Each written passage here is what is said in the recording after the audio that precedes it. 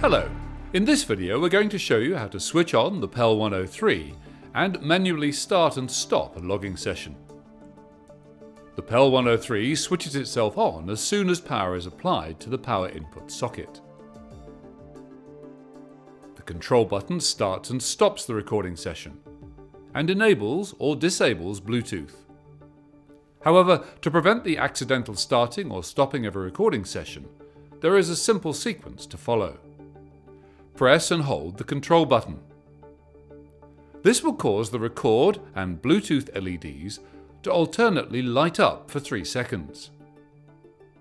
Release the button when the record LED is lit. The PEL will now start a recording session if it was not already recording.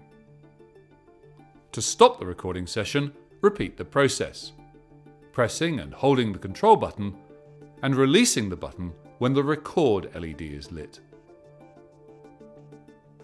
The green record LED blinks once every 5 seconds when the PEL is in standby.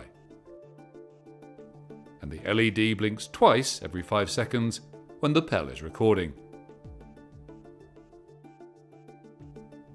To turn the PEL 103 off, first switch off the power or remove the power cord, and then press the on-off button for 2 seconds and release.